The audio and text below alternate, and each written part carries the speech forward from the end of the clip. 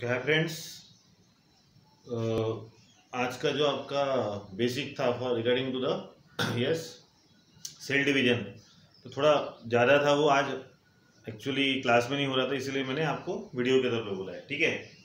Now तो पहला हम पढ़ेंगे ploidy yes it is one of the condition of living thing ploidy P L O I D Y what is ploidy So ploidy is a condition having the fixed number of set of chromosome. अब जैसे आपको पता है, chromosome nucleus में होता है। आगे हम वो स्ट्रक्चर भी लेने वाले हैं। तो हर लिविंग थिंग चाहे कोई भी लिविंग थिंग हो, उसमें जो हर सेल होता है, हर सेल में जो न्यूक्लियस पाया जाएगा that nucleus contain fix number of set of chromosome chromosome के सेट होते हैं, ठीक है? एक सेट दो सेट तीन सेट और वो हर सेट में क्रोमोसोम नंबर भी फिक्स होता है। प्रत्येक लिव्हिंग थिंगच्या न्यूक्लियसमध्ये क्रोमोझोम असतात। क्रोमोझोमचे सेट असतात. एक, दोन, तीन, चार. आणि प्रत्येक सेटमध्ये एक फिक्स नंबर ऑफ़ क्रोमोझोम सुद्धा आहे.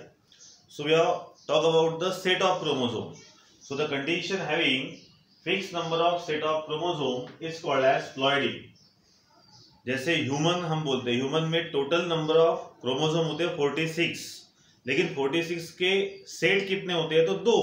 क्लियर तो यहाँ पे हम बात किसी कर रहे हैं? That fix number of set of chromosome so human shows the two set तो ह्यूमन हो जाएगा प्लॉइडी के बेस पे दो दो को हम बोलेंगे हैप्लॉइड सॉरी डिप्लॉइड यस दो रहा तो डिप्लॉइड सिंगल है तो haploid so ploid is the condition having fix number of set of chromosome now on the basis of number of set of chromosome अब लिविंग थिंग के body में set of chromosome कितने हैं? On that basis there are so many different types of ploidies are there. Base is number of set of chromosome. Now see, if only one set of chromosome is present, then it is called as haploidy and organism is called as haploid organism. Cell is called as haploid cell. हम generally cell को मान के चलेंगे अगर cell में एक ही set chromosome का है क्रोमोसोम कितने हैं वो जाने दो लेकिन सेट कितना है तो एक ही है so that is called as haploidy condition and cell is called as haploid cell if two set of chromosome is there then it is called as diploidy and that cell or living thing is called as diploid organism जैसे मैंने अभी कहा कि human में now human contain total 46 chromosome जिसमें autosome भी होते हैं सेक्स क्रोमोसोम भी होते हैं। ये हमको लेटर टेंथ में पढ़ना ही है। लेकिन ये क्या किया उन्होंने? 26 को दो ग्रुप में डिवाइड किया, दो सेट में डिवाइड किया। So one set contain 23 23 chromosome okay so here two set are there so that organism is called as haploid organism and condition is called as haploidy अब इसको जब हम रिप्रेजेंट करते हैं तो जनरली एन जो होता है स्मॉल अल्फ़ाबेट उसको यूज़ किया जाता है। मैंने लिखा हूँ यहाँ पे haploidy so it is represented as single n अगर कोई डिप्लॉयड है तो उसको हम रिप्रेजेंट करेंगे टू एन तो यहाँ जैसे हम 46 की अगर बात करें तो ये 46 हो गया टू एन ओके और ये 23 23 जो हो गया दैट इज़ एन क्लियर अगर तीन सेट होते हैं तो ट्रिप्लॉइड चार सेट होते हैं तो tetraploid condition triploidy and cell और organism is called as triploid चार है तो टेट्राप्लॉइडी एंड सेल और organism is called as yes tetraploid now पाँच है या उससे ज़्यादा है तो उसको जनरली पॉलीप्लॉइड बोला जाता है। इफ़ मोर देन फाइव और five set of chromosome is there it is called as polyploidy and organism is called as polyploid organism clear तो सेल डिवीज़न में हमको डिप्लॉइड हैप्लॉइड जो होता है, ये वर्ड उसके लिए ये बेस ज़रूरी था। So remember that diploid haploid triploid triploid का तो काम टेंथ में नहीं पड़ेगा। So haploid means single cell that single cell contains single only one set of chromosome. और डिप्लॉइड मतलब एक सेल में दो क्रोमोसोम के सेट रहेंगे। Clear okay now next topic जो सेल डिवीज़न होता है, वो एक्चुअली माइटोसिस और मियोसिस जैसे दो पार्ट में आएगा। तो हम बेसिकली सिर्फ़ इसका आज रिप्रेजेंटेशन पढ़ेंगे। होल मैकेनिज्म हमको नेक्स्ट में पढ़ना है। तो दो टाइप का सेल डिवीज़न होता है it is a mitosis and meiosis अब जैसे प्लॉइडी आपको समझ में आ गया और जनरली प्लॉइडी की कंडीशन हम स्मॉल एन से रिप्रेजेंट करते हैं तो वो एन आपको यहाँ दिख रहा होगा। क्लियर तो पहले तो हम देखेंगे what is mitosis so mitosis मतलब क्या? तो simply copy the given chromosome number so mitosis means mitosis में क्या होगा? कॉपिंग द क्रोमोसोम नंबर जिसमें जो भी हो, अगर वो हैप्लॉइड है मतलब single cell and single set of chromosome so it is simply carry out copy n से एन ही बनेंगे और कितने भी बन सकते हैं। मैंने यहाँ दो लिखे हूँ ठीक है? तो बहुत सारे भी बन सकते हैं। अगर ऑर्गेनिज्म डिप्लॉयड है तो टू एन का टू एन ही बनेगा और कितने भी बार बन सकता है। सो so, जब क्रोमोसोम नंबर की कॉपी होगी then that process is called as mitosis अब माइटोसिस होता किसमें है? Normally mitosis is seen in somatic cell और बॉडी सेल सोमैटिक का मतलब होता है बॉडी सेल हमारे बॉडी में जो सेल बनते हैं या बॉडी जो सेल से बनेगी, उसमें माइटोसिस होगा। अब जैसे हम बाल काट देते हैं तो बाल बढ़ते हैं। मतलब वहाँ बाल में जो सेल बढ़ रहे हैं, अगर आपको बाउंड हो गया, जखम हो गई, ते जे जखम आपली पूर्ण भरते तिथे तशाच पद्धतीचे सेल येतात ऐसा नहीं कि भाई यहाँ जखम हो गई और फिर पहले हमारा स्किन कलर एक पर्टिकुलर है और एकदम से रेड कलर की स्किन आ गई ब्लू कलर की स्किन आ गई, या एकदम गाठ ही आ गई। ऐसा नहीं होता ना। बिल्कुल सेम टाइप से वो स्किन या वहाँ का जो बाउंड होगा, वो भर जाएगा। मतलब वहाँ पे साइड के जैसे ही सेल फिर से आ गए।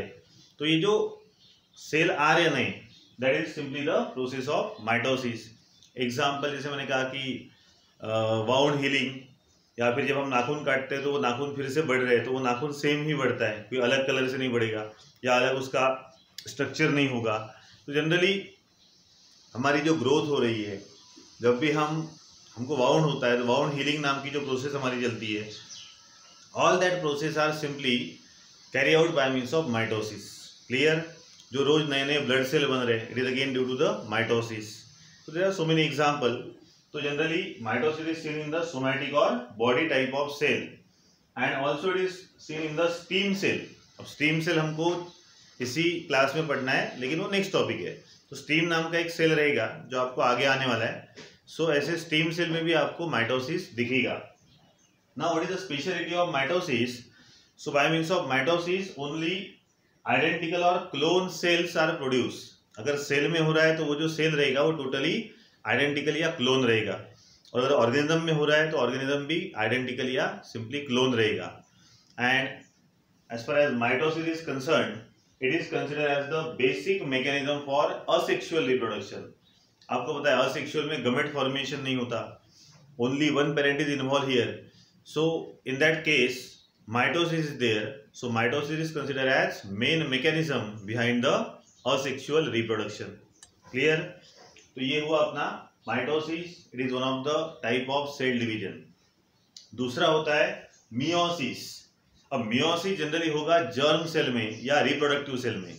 जब भी रिप्रोडक्शन होगा स्पेशली सेक्सुअल रिप्रोडक्शन जैसे mitosis is a main mechanism behind asexual reproduction in the same way meiosis is the main mechanism behind sexual reproduction तो मैंने लिखा हूँ यहाँ पे जर्म सेल या रिप्रोडक्टिव सेल अगर है तो उनमें जनरली मियोसिस होता है।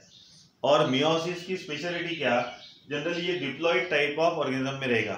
Diploid having the two set of chromosome होता क्या है उसमें? तो उसमें पहले क्या होगा? तो halving the number of chromosome halving means half जो भी, जैसे मैंने कहा कि डिप्लॉइड में होगा तो टू एन जो नंबर होता है डिप्लॉइड का, उसका पहले डिवाइड होके एन बनेगा। टू एन से बने एन और वो जो दो एन बने, उसकी फिर से कॉपी होगी। नाउ सी हियर अब जनरली मैंने कहा डिप्लॉइड और during sexual reproduction so we take the example of male and female अब दोनों भी यहाँ डिप्लॉइड चाहिए, क्योंकि meiosis is normally seen in the diploid type of organism now see here male which is diploid in nature, that is 2n now इसका हुआ half that is the halving the number of chromosome so form the 2n और फिर 2n की फिर से copy हुई। मतलब फिर से 4n बन गए। तो 2n से डायरेक्टली 4n बनेंगे। मतलब डिप्लॉइड जो ऑर्गेनिज्म है, वो चार हैप्लॉइड सेल फॉर्म करेगा। But it is the germ type germ line cell और germ cell same condition is happen in the female two n है तो एन मतलब हाफ़ हो जाएगा। And then it carry out the copy clear so having the number of chromosome and then carry out the copy अब ये जो mail में चार गमेट बने हैं, उसको गमेट बोल सकते हैं हम। Because they are directly take part in sexual reproduction and we know the reproduction which is takes place using the formation of gamete it is called as sexual reproduction तो यहाँ गमेट बने। They are the male gamete they are the female gamete दोनों का होगा fusion and that is called as fertilization तो meiosis जो होता है तो मियोसिस जनरली किसमें होगा? जर्म लाइन सेल या reproductive cell what is the condition condition is that ये सिर्फ़ डिप्लॉयड टाइप ऑफ़ ऑर्गेनिज्म में देखा जाएगा, या डिप्लॉयड टाइप ऑफ़ सेल में। और होता क्या है? तो पहले जो डिप्लॉयड सेट होता है, उसका हाफ़ होगा दैट इज़ हैप्लॉयड फॉर्म और हैप्लॉयड की फिर से कॉपी होगी। तो ये जो सेकंड वाला कॉपी का मैकेनिज्म है, शायद कुछ लोगों को दिखा नहीं तो मैं यहाँ लिख रहा हूँ, जैसे two n is divide into n n and again carry out the copy so diploid cell now divide into four haploid new cells.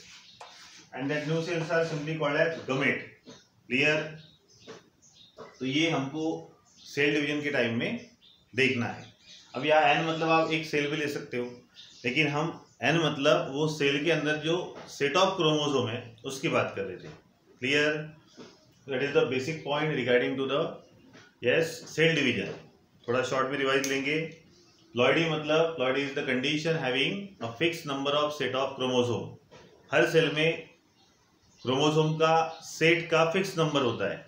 हाँ हर सेट में कितने क्रोमोसोम रहेंगे that is different point but how many set of chromosome are there that is the ploidy अब कितने set रहेंगे on that basis there are so many different types of ploidies are there like haploidy and organism is called as haploid haploid organism. So, haploid organism contain only one type of chromosome set.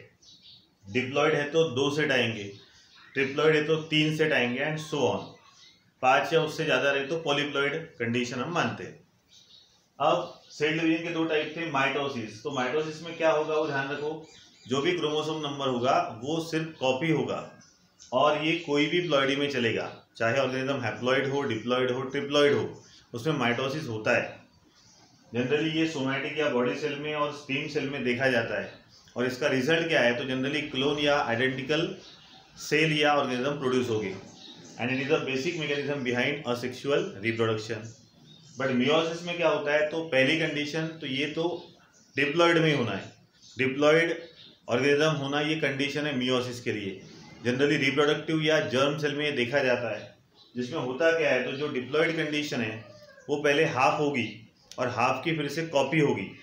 मतलब meiosis में एक last वाला part mitosis आ रहा है, ऐसा आप बोल सकते हो, देखो। जैसे यहाँ कॉपी हुई ना, और कॉपी होना मतलब क्या तो mitosis so simply halving that is half the number of chromosome and then copy that is the characteristic और main feature of meiosis diploid type के ऑर्गेनिज्म में जनरली ये होगा। और जब सेक्सुअल रिप्रोडक्शन होता है तो उसमें जो गमेट फॉर्मेशन होते हैं दैट गमेट फॉर्मेशन होने के टाइम में वहाँ पे मियोसिस होना ज़रूरी है। That is the basic point regarding to yes cell division